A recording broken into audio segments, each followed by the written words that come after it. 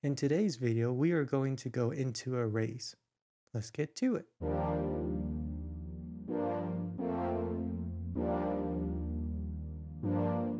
So if you're new here, don't forget to like, share, and subscribe. And you can see more content from me, such as these intro videos and a lot more coding tutorials. So within this topic, we are going to go into arrays, which is really different data type than the other data types we talked about before. And if you haven't seen my data type videos, go ahead and click on that video first and watch it just so you know what's going on in this video. And I'll put that link inside of the description below. Essentially what an array is, is a collection of objects. It's just a collection of items. And you're able to hold a bunch of items inside of this array and you're able to do multiple things with them. So before we go into that more in depth, I'll actually show you how they are defined or how you can create an array. So with an array, you can do it two ways. And again, this is really depending on your programming language, but typically you'll have some sort of an array class.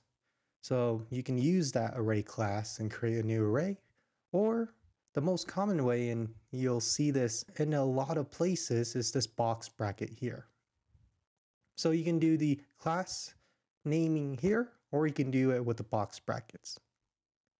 And with this, you can see that we're able to store a lot of values inside of the array.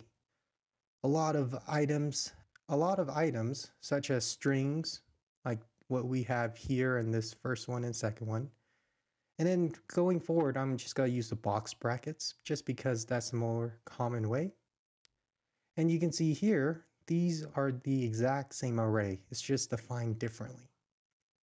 You can also have arrays of integers, and in other languages, you can have multiple types inside of an array, even arrays inside of an array. Occasionally, you would see arrays be defined like this laterally, and to be honest, with this way versus this horizontal way, they're actually the same thing. Most people just type them like this just for readability's sake. So these two are the exact same thing. They're still considered arrays and you're, they still work as arrays. So you're able to store a bunch of items in there and it doesn't necessarily have to be the same data type depending on your programming language. Now let's go into positioning. Now go ahead and pause the video and think about how would you get this element B here, this element B here. Welcome back.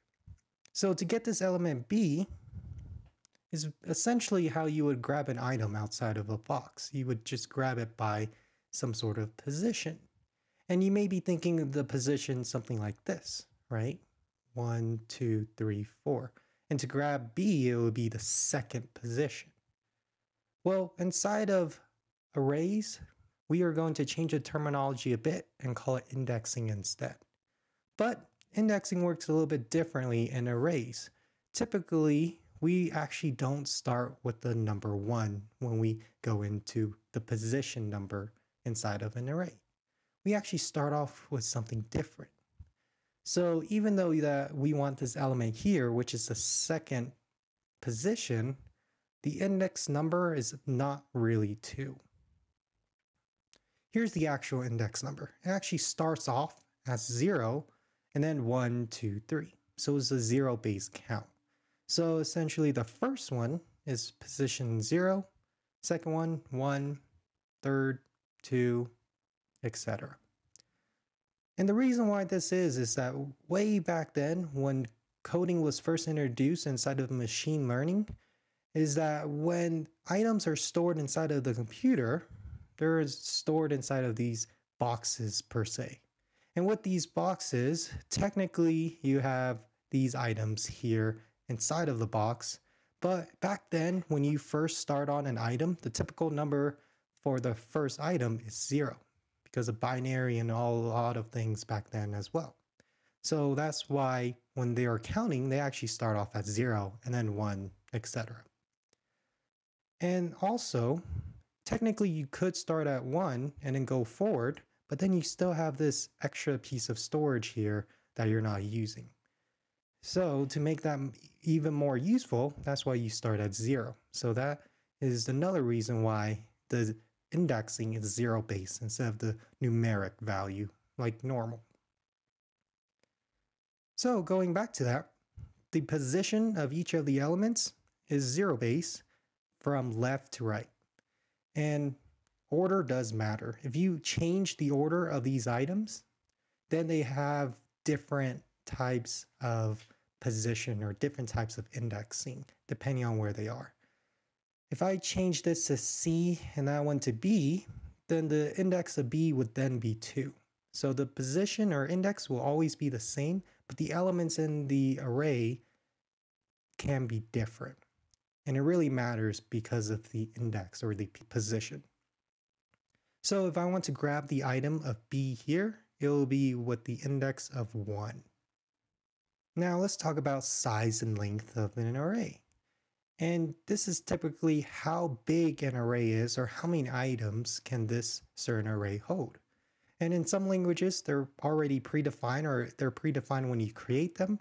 In other languages, they grow as the more items you put in them. So typically the size is how many items you're able to fit inside of this array.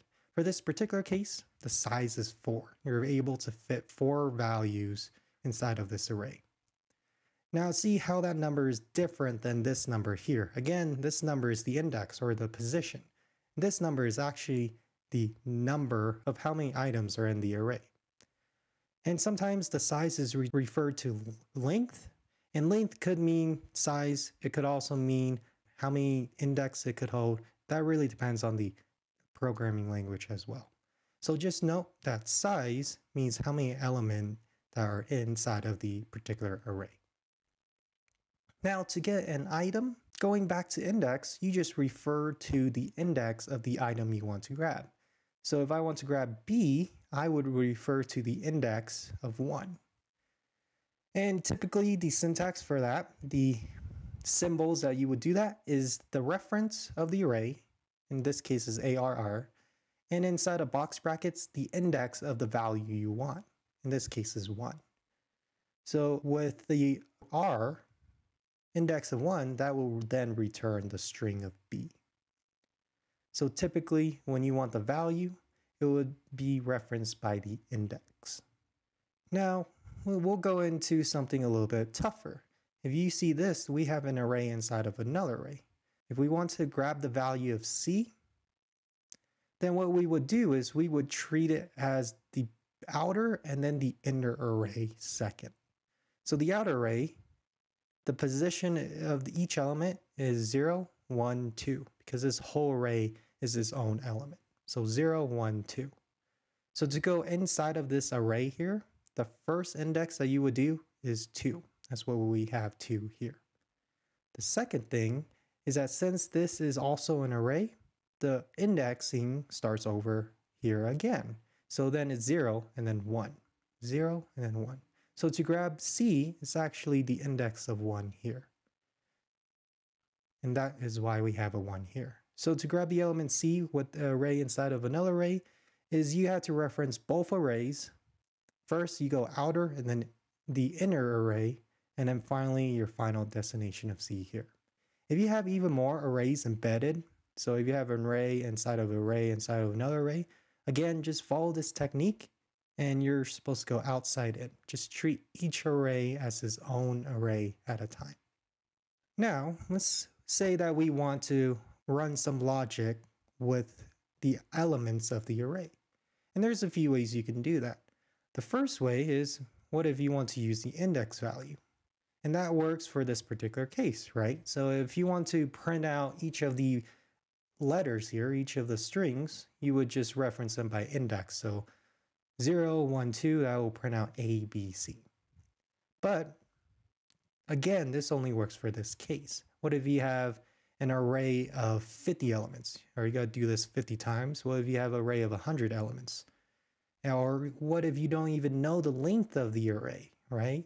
So this works, but it only works for this specific case. A better way to do it is that you need to iterate through the array so it works for any array that you plug it into.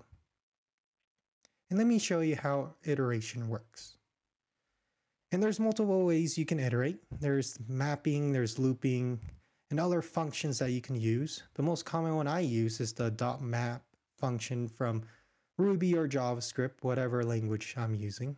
And typically how this works is that any array that I plug in inside of this map, I'm able to reference each element of the array as something I define it as. And then I am able to print logic out like I want to. For this example, I am printing out each of the letters. So the first thing that it will do is it will go to the first element, which is index of zero, and it will then be the string of A is now this here. And what this is, is just a placeholder or argument that represents what you're calling each of these elements when you're iterating through them. And technically, you can call this whatever you want. You can call it X, you can call it letter, you can call it number, pizza if you want it to, but it's good to be descriptive at this case, whatever makes more sense. So in this case, I'm calling each one of these elements as letter because technically there are letters. And what I'm doing is that as I'm going through each of the index, A inside of a string is letter now. So I'm technically printing out A. And then the next iteration is B. So now letter is B, print out B. And the next iteration, C. This is letter now C, and then C. And as you can see here, this is a broad way of how you can iterate through any array. I can plug in another array, whether it is 50 elements big or if it's 100 or even if I don't know how big the array is, this way will always work no matter what. So this is actually a better way to go through each of your elements of your array and you're able to do some sort of logic. In this case, I actually print out each of the letters. And that is iteration. Now in this example, you can see that even if I don't know the length of the array, I know that there's one, two, three, four, or however many, this still works. It will still continue on going until it hits the end or until you have some sort of an error. So this iteration of map will still work regardless of how big the array is and how different the array is. Now let's wrap up what we covered so far. So an array is just a collection of objects. It's a collection of items. You're able to store a bunch of items inside of an array, and typically they are symbolized by inside of box brackets and separated each element by a comma. Index refers to the position of each element in the array. And position does matter because the first element is always the index of zero because it's zero base. So you count from zero going forward. Iterate means that you're going through each of the items in the array. And you might be able to do some sort of logic with each of the items, like printing it out, adding and totaling, things like that, some sort of logic. And the best iteration will work for any array, not just the array that you test around with. It will actually work for every single array. And size is how many items an array can hold. So what will you be doing with this information? Well, let me show you. Let me show you a good use case of an array and a much more live example that you can be using. Typically, you wouldn't have an array of strings or an array of integers. Um, you would have something more complex, like an array of hashes. And we'll go into hashes in another video. But each hash represents a person or represents a user.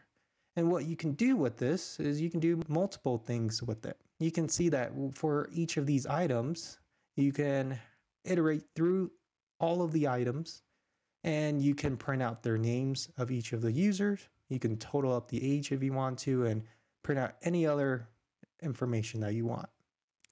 You can also reference each user by index value or even see how many users there are inside of your database or inside of your website.